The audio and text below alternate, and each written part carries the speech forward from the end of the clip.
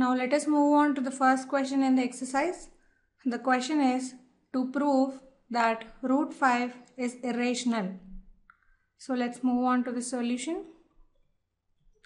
So to prove root 5 is irrational, let us assume the contrary.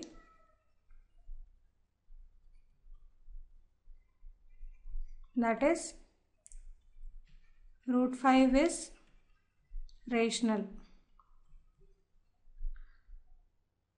Since root 5 is rational, it can be expressed in the form of p by q.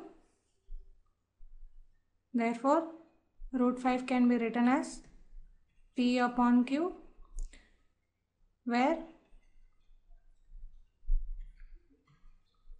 p and q are coprimes. From this expression, we have p is equal to root 5 times q. Now squaring on both sides, we have p square is equal to 5q square. Let this be equation 1. Since 5 divides p square, 5 also divides p. Therefore, 5 is a factor of p. Since 5 is a factor of p, p can be expressed as 5 times of c where c is some constant. Now we square this equation that is p square is equal to 25c square. Now we shall substitute the equation p square is equal to 25c square in equation 1 So we have 25c square is equal to 5q square. So 5 goes in 25 5 times. This implies 5c square is equal to q square.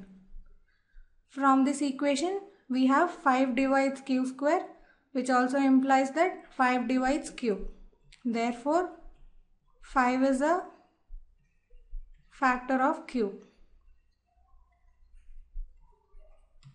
Therefore, we have obtained two statements. From those, we can conclude that 5 is a factor of both P and Q. This brings a contradiction to our assumption that P and Q are coprimes. This is because of our wrong assumption that root 5 is a rational number. Therefore, root 5 is an irrational number.